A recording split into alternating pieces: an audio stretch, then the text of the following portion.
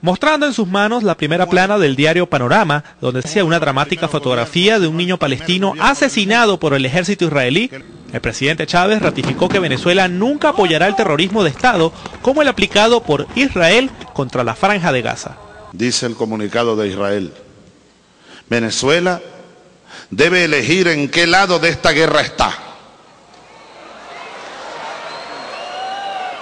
¡Qué cinismo!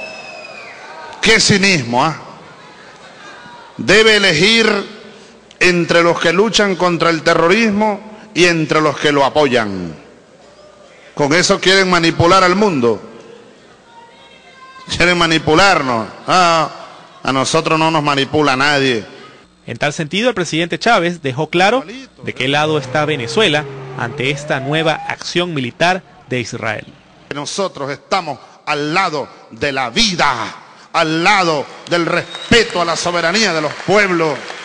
Estamos del lado de la justicia, estamos del lado de los pueblos, de la soberanía, de la paz y de la vida. Para el líder venezolano, la matanza perpetrada por Israel contra los palestinos será la primera prueba de fuego del futuro presidente norteamericano Barack Obama, quien deberá demostrar con hechos su intención de cambiar la política exterior de Washington.